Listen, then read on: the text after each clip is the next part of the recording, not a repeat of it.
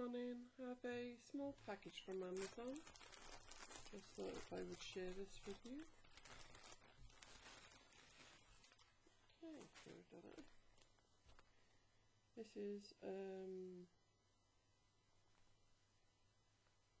okay, let's see. Woman's kimono.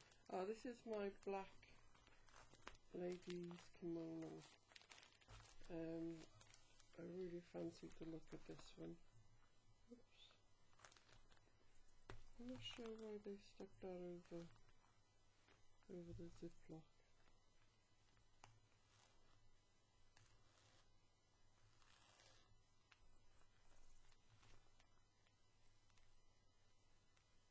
It's a strange thing to do though.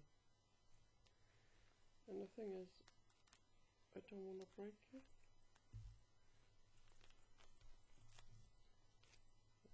Get rid of that bit. Here we go. So this is my satin effect kimono. There's a bell part.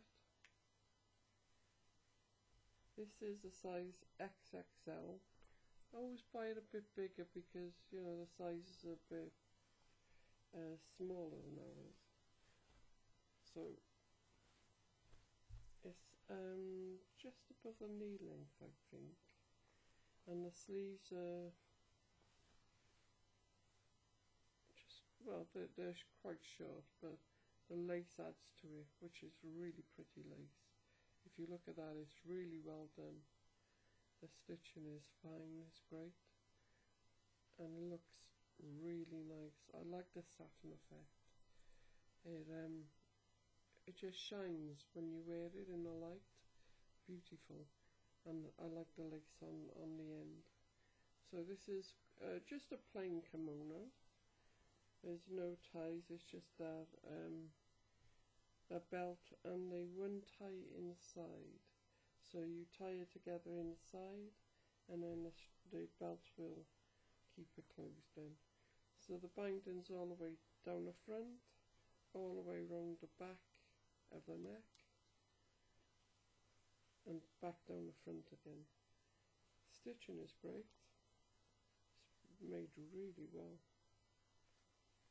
Very nice stitching inside there. And it actually feels really soft and silky. So nice. So this would go over a little uh, night dress or slip. Um, if you want to do nothing, it's up to you. But um, that is really pretty. Be careful how you wash it though. Yes, going to washing instructions inside. There you go. So make sure you read that because you don't want to ruin it. So there you go. There's my uh, satin kimono with lace edging on the sleeves and a belt in the same material. Thank you for watching. Bye now.